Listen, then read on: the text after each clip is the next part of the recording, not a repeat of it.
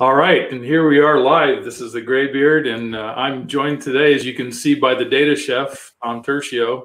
So, hey, say, well, I'll give Tom a chance to introduce himself, but I want to tell everybody thanks for coming on again. I want to apologize for the glare in my glasses. I've got the my laptop in a funny direction this time, and it. Well, I always have glare in my glasses, but this is unusually bad. So, got to get you a pair of uh, glare-free glasses, there, Bruce. Uh, you know, my wife keeps telling me that, but I'm stubborn. I, I, guess I need to need to figure out how to get that done. So here we are. Um, this is good. I've been looking forward to this for a long time because I, I remember the first time I met Tom. I was a little um, intimidated, I, I, guess you'd say, because I, his reputation preceded him, and he was a former critter from Critigen and uh, you know, I just it, it, was just one of those things where I thought uh, it would be an intimidating thing. But as soon as I met Tom, it wasn't. I probably five or ten seconds, I immediately knew how much I liked him. So, hey, Tom, why don't you take a minute and uh, just introduce yourself? Tell us where you come from and all that stuff. Oh, sure, why not? So let's see. I've been in this industry for about 35 years.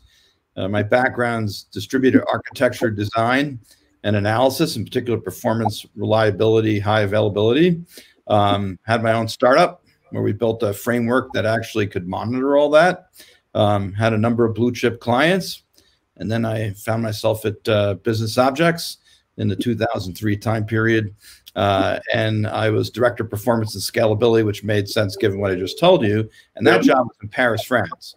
So yeah. 2004 through 2006, my wife and I lived in the 17th arrondissement in, in Paris. I ended up back stateside, Business Objects, which turned into SAP. Uh, and then uh, at SAP, I reprised as a performance and scalability uh, expert, or actually in charge of actually that globally. Uh, and then a, a phone rang. Hold on, hold on. I'm going to inter- I'm going to interrupt and say I wanted to go down this road, and, and Tom's taking us right down the road I wanted to go down. And I wanted to to talk about the Critigen Turchioe family tree. And there, yeah. there, there's a place at which Tom's family tree intersects with the Critigen. I, I was just about to go there. I got, I got you. Go ahead. Yeah. And, and, and, the phone rang, and it was this uh, geospatial company, uh, ArcGIS, Esri Platinum partner, been doing geospatial a long time. And uh, I was asked if I would consider becoming the uh, chief technology officer. And around that time, geospatial actually was coming up more and more in conversations internally at SAP and certainly in my own personal interest. And I figured what better way to learn geospatial? And I was up front. I said, I don't really know geospatial. And comment was, well, we don't we don't care. It's it's you we want. You, will figure out the rest of it. And right. so April of 2011, I became CTO at Critigen and um, pretty much learned in about six months um, that spatial is the way you want to operationalize your data. You want to operationalize your enterprise. It's the way you want to consume insight. Um, you know, if a picture is worth a thousand words, a map is worth a thousand data tables. So you want to get the point across in about a half a second. Put your data on a map, on a good map that's cartographically correct. Um, and I learned about how that's not trivial uh, you know, my first six months at, at. So, so that, that, that, you know what, I didn't know the BI part of it, the, the business objects thing. I didn't know that you were involved in business, uh, um, business intelligence before you came to Critigen, and then you put the bio, the geospatial piece to it. Yep. And then after that, the, where'd you go after that? What'd you do? Well, what happened was I learned that geospatial computations, while they're computationally intensive, they can be data intensive I have IoT, I have AVL, I have AMI, I have all this data coming in from all over the place. I want to represent it and roll it up in a way that means something to the business user. Um, and, and, and, that takes computational power. It also involves taking data from a number of different data sources. One of the uh, customers that we had at Critigen was a, a US government agency, it doesn't matter which one. And through them, I met the folks at SAP's National Security Services, or NS2, and we began to do work with each other because they were doing you know really heavy data lifting with HANA and spatial and Critigen, number of its areas of expertise, including the more difficult the problem, the better Critigen is, right? Throw something at us that was really gnarly, we'd figure it out. Right. nobody else could do that. That was always impressed me of the folks that I work with at Critigen. Um, but we were really good at building some slick uh, ArcGIS based native iPad apps, and that's exactly what NS2 was looking for. So we started playing around with large data sets, as you can imagine what NS2 does for a living. Right. And um, you know, we were doing 300 million uh, point k-means clusters before the stuff was even turned on in HANA. You know, we're working with them. It's like, you're going to turn the switch on? I don't know. Will it stay up? I don't know. And of course, it wasn't production yet. So the first time we did it, it didn't stay up. But point is, once we got the uh, the code fixes, um, three seconds to do 300 million point uh, k-means cluster, and that just blew me away as a performance person. And that comes from a number of things about HANA. Well, hang on just a minute. I, you know, I, I, get, I let this thing slip away from me so quickly, unfortunately. But so I'm going to ask you a question, but I, I don't want you to answer it until the end because I know that you, you're one of those bright people that you got things going on in all parts of your brain. So this is something that that I meant to ask you up front, but instead we're going to talk about at the end, and that is like I've, I've been making a practice of asking everybody I know because um, I'm kind of fond of the saying that life doesn't happen to us; it happens for us. And so, especially in terms of your professional life and and your maybe even your technical expertise, I want you to, to talk at the end. Just tell me a little bit about what the pandemic has done for you rather than to you. Okay, just well, just boy, there's a lot there, but okay, I'll park that. That's at the end, and and I, I, know you can keep that together, but I just didn't want to let that go because I knew that I would let it go. You were getting ready to start. You were you were going to start talking about the special powers of HANA, and that's one of the things that I, I've kind of promised everyone that we would dig into is you know sure. things things like you know what are the basics of how an in-memory database works. You know just because I, I think some people some people know that well, but others maybe don't know that even the basics there. Yeah, so HANA is the underpinning of what SAP we call the the uh, business technology platform. That includes a, a, number of different pieces. HANA's core of it. Uh, HANA does a number of things. We talk about the database, which I will in a second. But one of the things that impressed us about HANA when I was at Critigen was the ability to pull in data from anywhere and either materialize it virtually or physically in HANA, uh, depending upon what your needs were. But the fact was, HANA was designed to not have to move data. And this actually plays into the performance things that people say HANA has magical powers. Well, when you're architected from the ground up as an in memory platform, uh, there's a number of things that you don't have to deal with. Disk-based database systems and DBAs play games of trade-offs between uh, you know, RAM, memory, and disk, right? So you want more performance, you create more indices, um, you, are optimized for certain queries, not optimized for others, and you spend your day doing nothing but that kind of stuff. Um, the DBMS has to figure that out. It weighs pages and different kinds of pages, pages things in and out. Well, um, you know, certainly on the HANA side, we have the capability of warm and cold storage, but I'll just talk about the in-memory or hot storage here. Not okay. Not right. So we're talking, about, we're talking about in-memory storage, right? Yep. So now I'm going to the, the core pieces. What was first released with HANA? so hold hold that thought. Hey, I didn't ask everybody to uh, to put in the comments where you're where you're watching from. It, it helps Tom and I to know exactly kind of who we're talking to. So take a minute, uh, go down to the comments, and just type in where you're from. It'll tell me your name. Just type in where you're where you're uh, watching. And then, okay, so we're going to go down to the. We're looking for a little more information than in your home office. Yeah, yeah, yeah. well, I, have had a few of those. One, like one guy said, in my basement. I'm, I'm kind of looking at in your basement in what municipality? Okay, so anyway, so go ahead. Well, anyway, so so so the you know the the in-memory components what came out first, then you know data tiering came out. And now we have network um, um, storage extensions or native storage extensions. Sorry, um, and NSE is like I said, warm and cold, and it's all transparent to the user it's specifiable or it's automatic. You get to pick it. But let's talk about the in-memory piece. So when you're designing as a columnar in-memory database, one is scans are incredibly fast. Um, compression is very high. Um, we work with specific instructions in the Intel chipset to take to make HANA fast. Um, just look up SIMD, S-I-M-D, um, and you'll find a white paper on it. I, I, we don't have time to go into what that is, but the point is, HANA scans incredibly fast, does a number of things for you. The first thing it does is it, well, your footprint's reduced because of the compression. Um, but it also means if I can scan very fast, I don't need to pre-aggregate. You never lose detail in HANA. Uh, there's a customer of ours in Europe, and every customer who checks out of their stores, a row gets written into a table. As of last October, it was 9 billion rows and growing. They run all of their analytics off that table. You never lose detail. So, from a DBA standpoint, you're not spending time figuring out what roll up do I need to do? What result table do I need to create? What ETL do I need to write? And the other thing that HANA does is it figures out on the fly how to execute the query you submitted to it. Now we do have, the ability to create. If you want to, if you boil it down to the hmm. basic that that I that that fact that it doesn't lose detail is that how things is that is that how it works so quickly? Is that how it processes? Is one of the one of the key things. Okay. And the other one is the these engines that we talk about. So we have we're talking about the spatial engine here.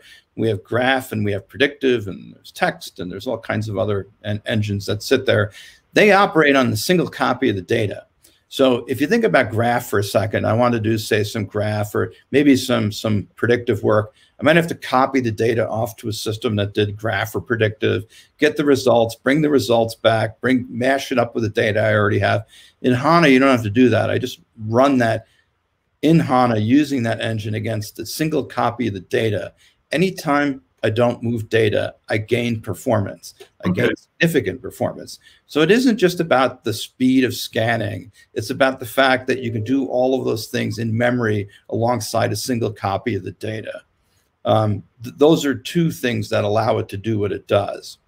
And in particular to ArcGIS, I'll just, you know, I, I, you tell me if you want me to wait or not. But no, no, that, that's good. Go ahead. Yeah, one of the things that, that Esri told us when they when, when they got their hands wet and built the HANA prototype is they said, you know, usually we teach best practices. Um, if you have over 10 million rows in a summary, uh, you build a summary table. Don't scan because you'll get uneven performance across the different DBMSs we support. Sure. Um, right. So there's one, and, and, and every ArcGIS admin lives with this stuff. Um, you know, don't do uh, non-space, don't do spatial filters. So if I say I have a polygon, what's inside of it? Some DBMSs can handle it and some can't. Um, write narrow queries. So I join back to my base data to get my shape, and I go to my summary table to get whatever I've aggregated up to, and I display it. Well, HANA has no trouble handling wide queries, and HANA doesn't need to pre-aggregate. So what they said was those three best practices they teach do not apply when the DBMS is HANA. So HANA is the only supported geodatabase that offers the fact you don't have to create result tables and you don't have to build secondary indices. And if I only have a polygon, right? Because because the dirty secret, dirty little secret, Bruce, is I don't always have a zip code or a census block group number or something or a state code. I just have a polygon. What's inside of this? This hat keeps walking yeah, around. I was just going to say, hey, feel free to ditch the hat because yeah, I, I, sure. I, can ditch the hat. Besides, yeah, doesn't doesn't cover much anyway. You just didn't want to expose the fact that that I've got more hair both here and here than you do. That, that's right. Well, see, that's why I'm not the gray beard. So that's right. That's right. um. But, but this is all pretty cool because you know it was actually Esri that you know came to us and said, by the way, these things don't apply if you're running on HANA. And it's like, of course we should have known that because since HANA was first released in 2011, we have tens of thousands of customers and they're doing things like not creating result tables. They're creating virtual data warehouses. So they're not moving all their data into HANA. They're referencing it on the fly via what's called smart data access. They're mm-hmm. querying the data in place.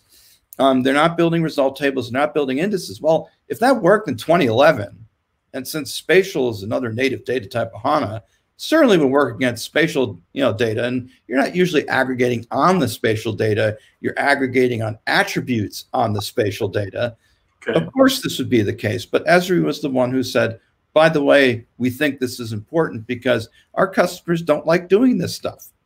Um, and well and, and i mean you're we i think this is one of the benefits that i'm pretty familiar with in that you know we the, the, GIS organizations they, they've got other things to do at their time other than than do you know um, maintain data processes right? And so that's a big that's a big benefit well, for most well maintaining ETL is uh, you know, the ETL gets more complex the more you add to it, it gets more branches to it.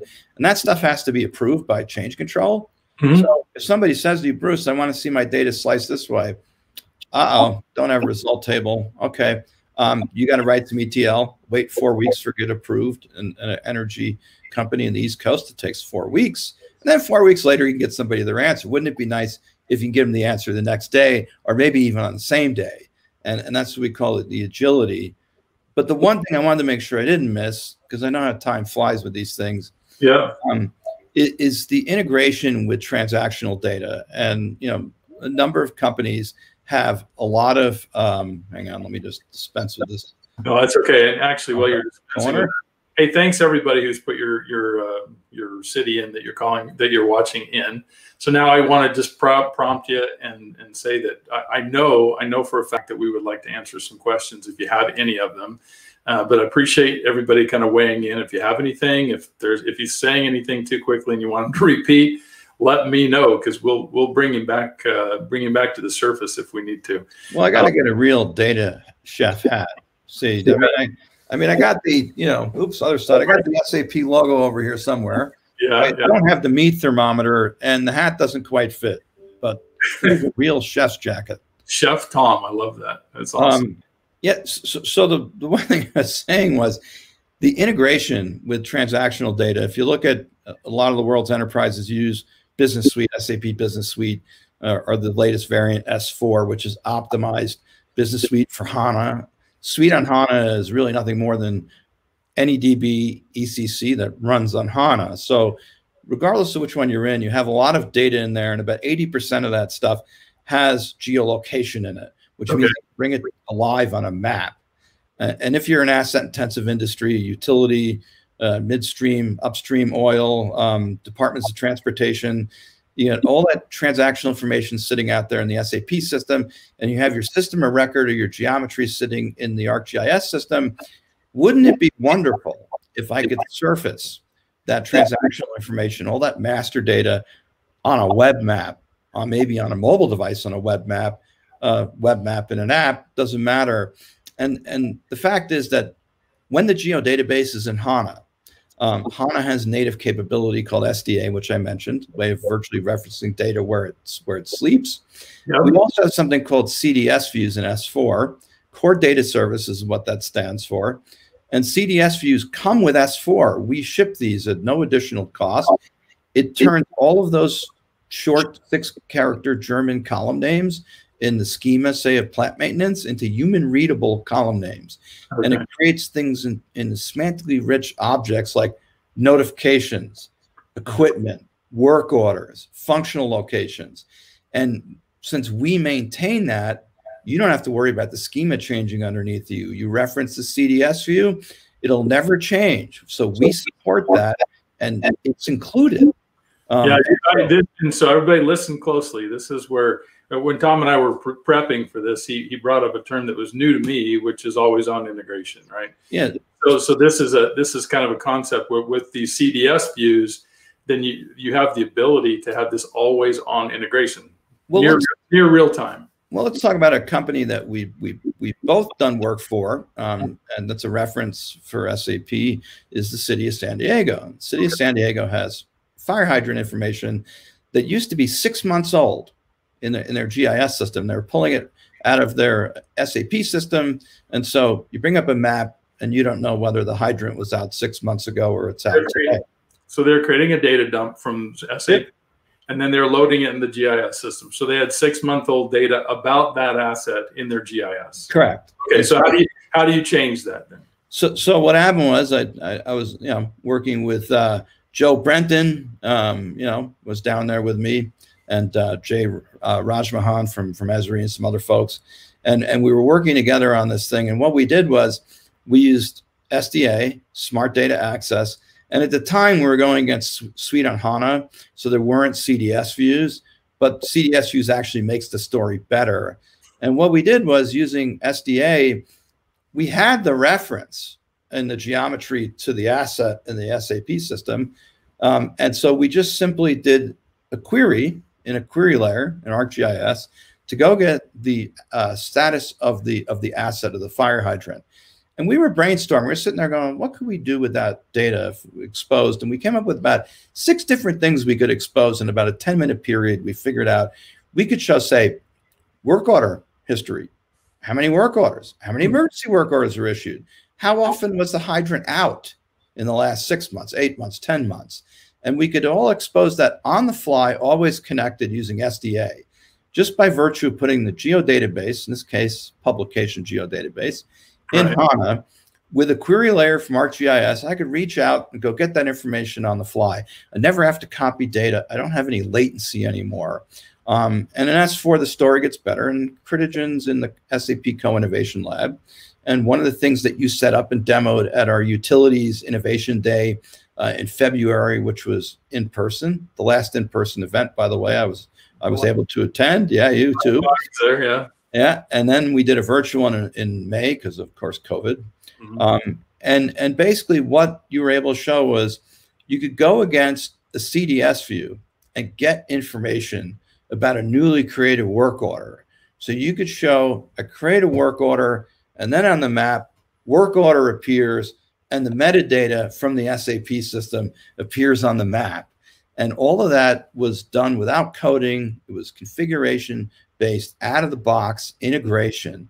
And so when you look at all that information about your assets in, in, in Business Suite, and if you have S4, you use the CDS view. So you just look for the CDS view and it goes in at the ABAP layer. So this is important for folks on the on, on the phone or watching right. Or live stream, I should say.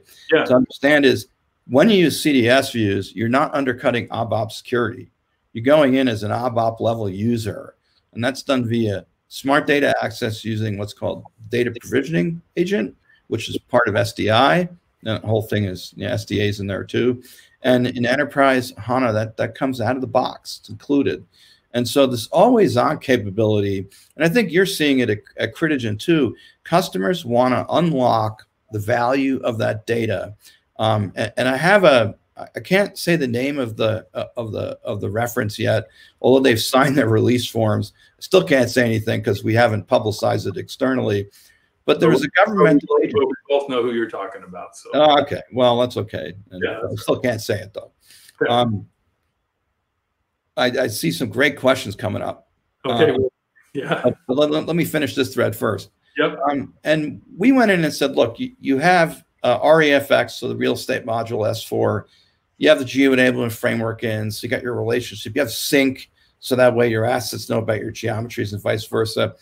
How about we come in and basically show you what you could do by actually mashing these two data sources together? And so a couple of my colleagues in Europe um, sat down. I wasn't able to go because of COVID. Um, and, and basically, this is what they said to us. Um, by being able to reference on the fly, always on, from the GIS system of record, um, yeah. which ArcGIS, over to REFX, they were able to eliminate uh, error-prone uh, and, and redundant business processes such that the information would make it to the business 40% faster than it did before. So think about your business. Now you're going to say there are governmental agencies, real estate. Well, real estate's an asset. It just doesn't move right? Unless somebody lifts up your house and moves it somewhere. Um, utilities have moving assets, but the same thing applies by connecting these things in an always on capability. You're unlocking and making business processes more efficient and eliminating manual ones that are error prone. Uh, so there, there, are two two things there. Maybe if we have, if after you answer this question from Don, if we have a chance to go back to it, I want you to talk about how I talk about how um, putting the publication geodatabase on uh, on HANA can be a really good interim step. Like rather than yes. to do this, so let's let's let's save that one. But Don says, how big an organization or data set would you need to take advantage of this? Um, and I think that kind of plays into that. You know, depending on what your goals are, it doesn't have to be big, right? Yeah, it it, it doesn't. So there's a couple of things because you the one question you asked me to park actually plays to I think what Don's asking is if you have a lot of uh, result tables that you're building every night as part of your, you know, your geo database to provide your read-only users, because everybody knows the bulk of the users in an ArcGIS system in enterprise are read-only users, and they're going after information that you're distilling for them, the insight that you're creating. If you're constantly building these tables and they take hours to build and you're doing it every night, you have to ask yourself the question, would you rather be doing that or would you rather be doing something higher value?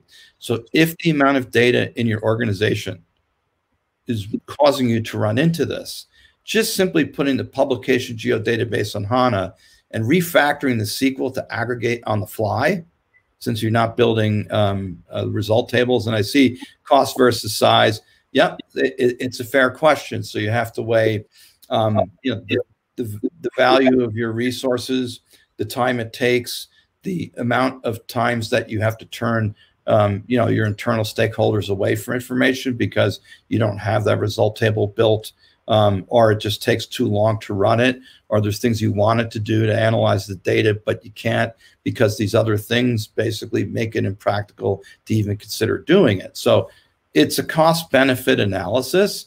Um, I would say this: if your if your uh, organization is on the road to S4, so if, you're in an SAP shop, um, then you should definitely consider the publication geodatabase as an interim step because as Sempra's finding out, and Sempra's spoken at our conferences that I mentioned, so I think I can mention their name, and Critigen, of course, is doing the work. Yep. You're moving their geodatabases to HANA. Mm-hmm. And I don't think I can say where you're moving them from. That might be something you guys can say, but I won't say it. Um, and they're doing it for the reasons that I stated. Now, this is, you know, clearly a large organization with a, you know, over 20 terabytes of geospatial of geo databases. And I'm sure, Don, you're probably saying, I, I don't have 20 terabytes.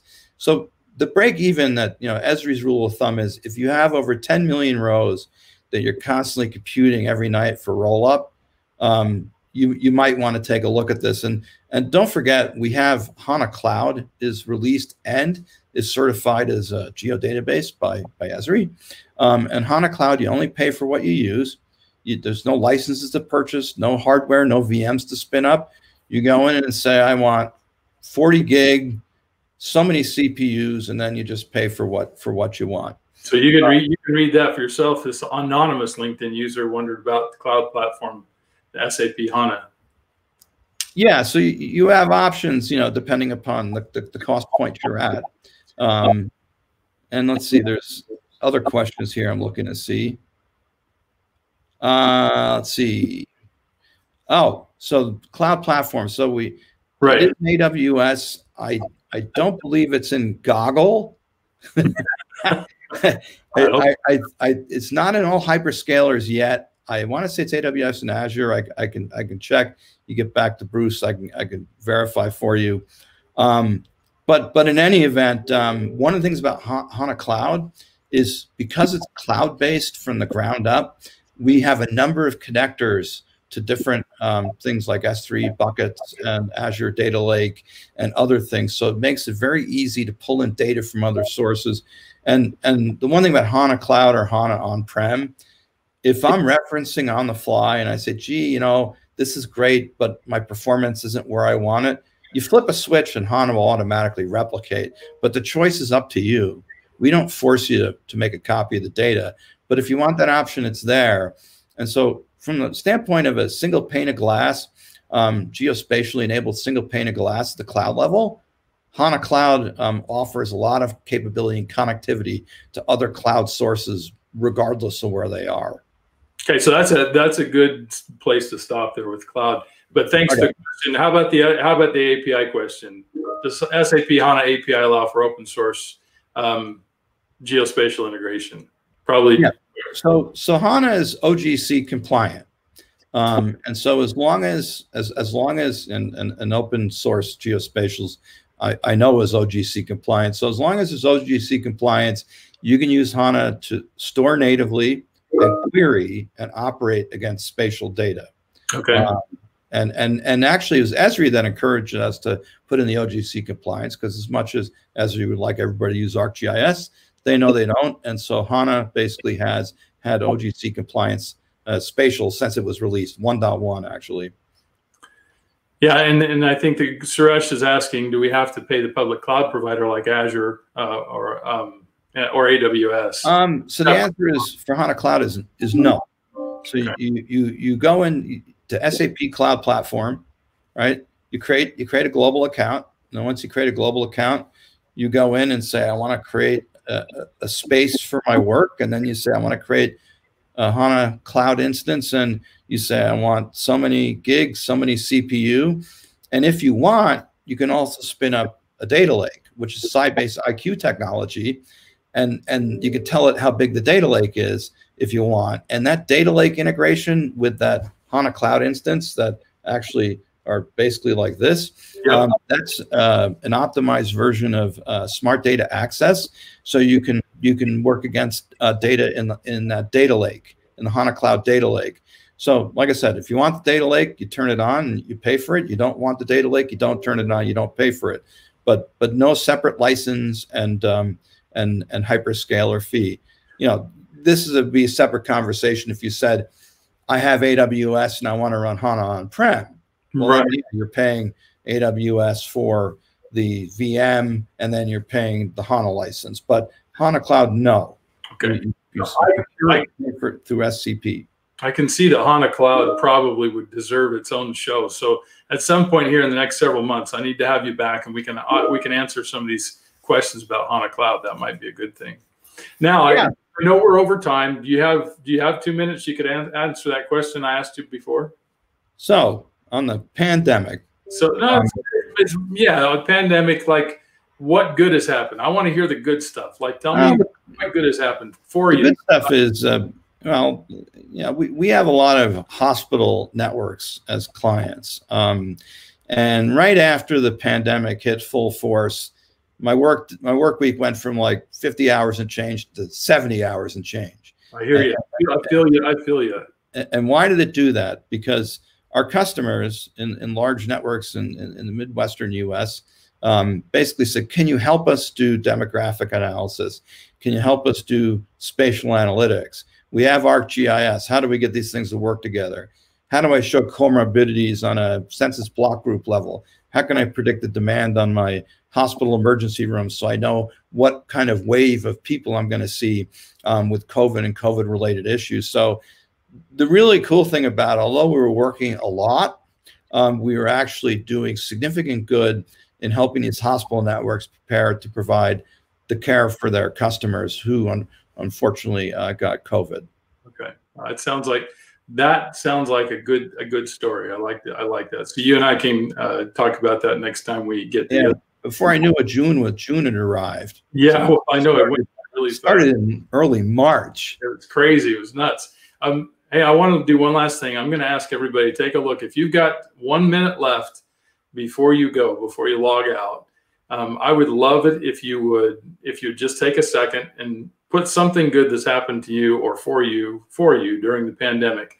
Put that in the comments because I'd love to read those good thoughts. It helps me, and it's a good thing I think to to recognize and share what the good things are instead of uh, there's there's too much gloom and doom out there. So take a minute before you leave. Just put in the comments what good things have happened to you. Tom, I knew it was going to be a challenge to, to keep you out of the weeds, but I think there was a lot of value from you diving so deeply. Um, so I really appreciate you taking your time to do this today. Yeah, I'm just honored to have been on the Graybeard. I mean, I, I can check it off my bucket list, man. well, I'll tell you what, just everybody, everybody, if everybody felt like that, we would have an unlimited audience and everything would be hunky dory. So let's let's try and get everybody on board, Tom. Well, I'm happy to come back. All right, we'll do it. Thanks so much, and you have a great day. Okay. And thanks everybody for your time. Super. All right. Bye now. All right. See you.